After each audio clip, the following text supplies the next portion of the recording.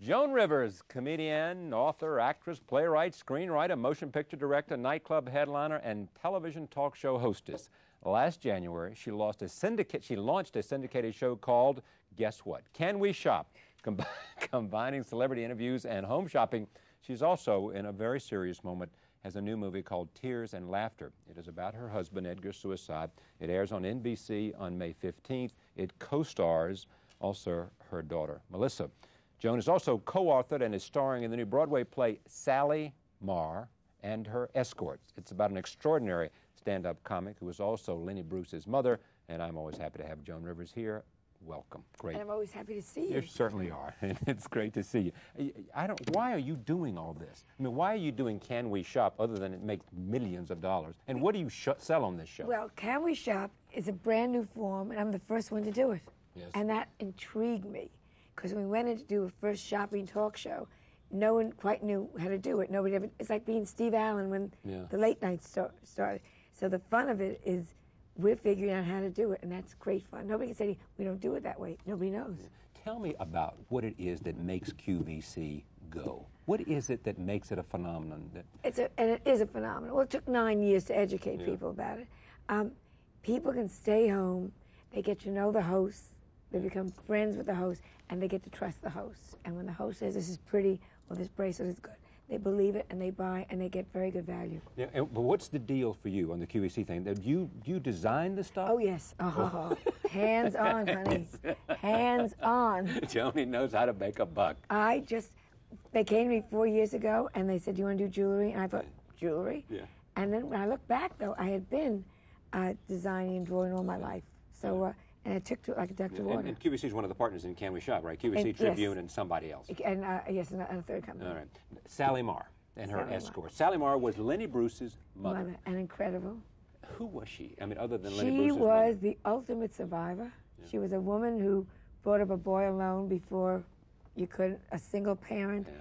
She worked, she did everything. She taught at 51. She taught strippers how to strip. She brought him up. She took care of him. She watched him go, and she kept on going. And she's incredible, incredible part. Yeah, You knew Lenny Bruce. Or did you, I you never- met him? Didn't he come down to watch you at the bitter end when you were a mere when I was tot? A tot, and bombing. Yes. And he let, sent me a note saying, "You're right, they're wrong." Oh. And I kept that note. That was when he Oh. You was. in- believed it, too. Honey, that went into my bra and stayed there for three years. Yeah. And then when I hit on the Carson show, he sent me a telegram saying, "I told you so, Lenny Bruce," and that just because he, from my generation, which is George Carlin, Richard Pryor, and um, all that group, he was the god for us. He was the one we all aspired to be Because, because he spoke the truth yeah. and still does. I will get into a cab and I'll play his tapes, and the cab driver will laugh, and then turn to me and say, "Who is that?" And I'll go, "It's Lenny Bruce." They don't know who he is. They don't know it's 30 Is years there anybody like him today? Nobody. Nobody. Uh, but he opened the door for us. Yeah. He opened the door for Robin Williams and and me and, and Lily and uh, everybody. You know, on and on and on. Tell me now about the movie on NBC. Yeah, Tears and Uh, Laughter. Tears and Laughter. Yeah. You and Melissa both have been nominated for, or at least the movie will be nominated For an Emmy, and they, they just uh, told us. NBC will ask that it be nominated. Yeah, nominated. and they the committee will submitted us for uh, right, Emmys right. Tell me about it. I mean, was it hard for you to do this? Is it a catharsis? It How do you deal with a subject that you and I have talked about a number Yeah. of times for live audiences in, in a television interview, the most traumatic experience of your Well, life? Well, we deal with the aftermath of the suicide and what it does to a family and how it absolutely destroys a family. It's like glass, it just crackles the glass. And how do you get back together? A subject that no one continues to talk about. I was in Vancouver for a month on the set, and all we dealt with was suicide, suicide, suicide. The last day, my stand-in came to me and said, my father killed himself. And I mm. thought, that's why we're doing this movie. We're the first people Yeah. ever to tackle that subject. Yeah, Kurt Cobain you know, Yeah. a couple of weeks ago. Yeah, I mean, it, it's so prevalent, and no one discusses Well, it. talk to us about it. I mean, what did you learn about it, and what did you know? What does this movie tell us about it, The other than the story of your life? Tells you what happens to people Who get depressed? who get depressed, who break away, who strike out at the wrong things, what they do to themselves. Melissa went into an abusive relationship because she says at one point, the only thing I could feel was the physical pain. I mean, it, it was mm. it's incredible. She was numbed by the suicide. Totally numbed. totally numbed. could feel nothing, actually had to feel that. Were you two And I was manic. I was crazy. You know, I was Sally, social butterfly. and blaming yourself? totally. He, You outgrew that.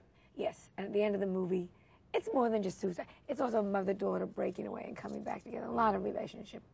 It's a real woman's movie. How did you two come back together?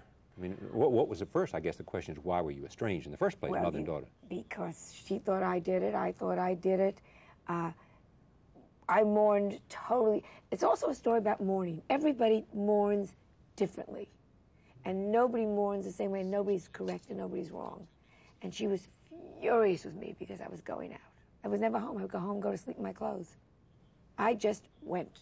Could not be alone in the house. And she was thinking I was the, you know, the happy widow. Yeah, She was thinking you were impervious to Right. her pain, and, and, and you were showing a gross disregard Right. for, for And- his pain. Exactly. And she, on the other hand, I thought just had clammed up and totally went inward, and there was no, no, no reaching out for me at all. So it's very interesting. It deals with a lot of subjects nobody's dealt with before, and that's why we wanted to do the movie. You are amazing to me in that you you You're still here. That's right. You're still around. You're sitting up You're sitting and talking and, talking. eating real meat still. and going out. I mean, my Yeah. God, you're supposed to be in a home somewhere. I know. Oh, go on. Oh, go on. Tell me more. Tell me more good news. But- you amaze me because you don't. I mean, I want to. I bear with me. Richard Nixon was a survivor. Yes. He'd knock down, he'd get up. Knock down, get up. He moved forward in his life. I assume there's nothing you two had in common except the will to come back and the will to continue and to do what you thought you knew how to do.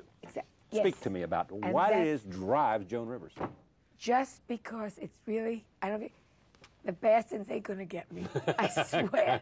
That's truly what it was. Oh no no no no no. You're not leaving. Cancel my show, but I'll do something else You're and I'll come up with a better show. And you'll come up with a better Yeah. show. Cancel this. Tell me nobody cares, and I'll go to Broadway. You guess- and and Sally's a survivor. My, I mean, this woman, everything. Pregnant on her wedding night, left on her wedding night, all true. Son deserts her at 16.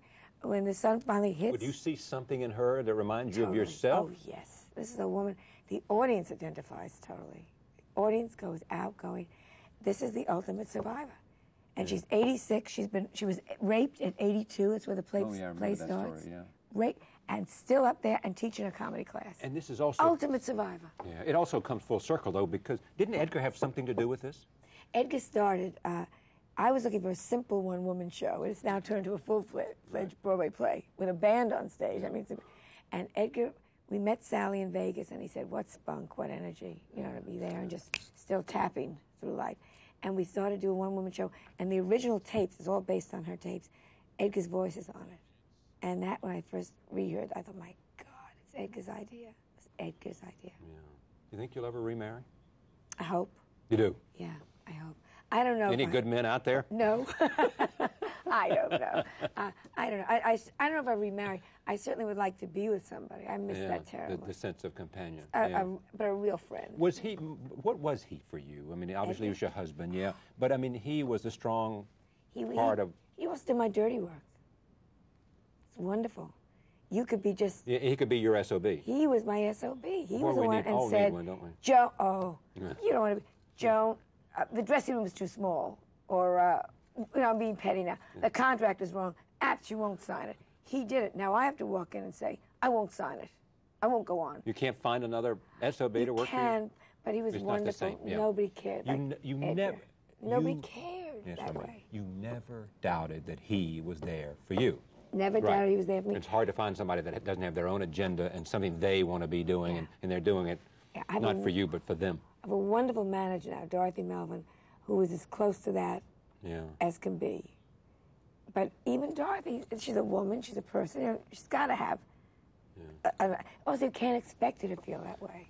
And you and Melissa are back like Yeah, this is like you know, no problems, nothing. It, it- you speak to each other and daily, and, and, you know, and things are great. You have a God. capacity if you have a problem to speak I'll to tell it. you one thing. When we started together in the movie, I said, "You'll never get another leading lady who says, let her have the close-up." Let her take the. I'll take the wide shot with the in the shadows. you don't understand, Melissa. You will never get this again, ever.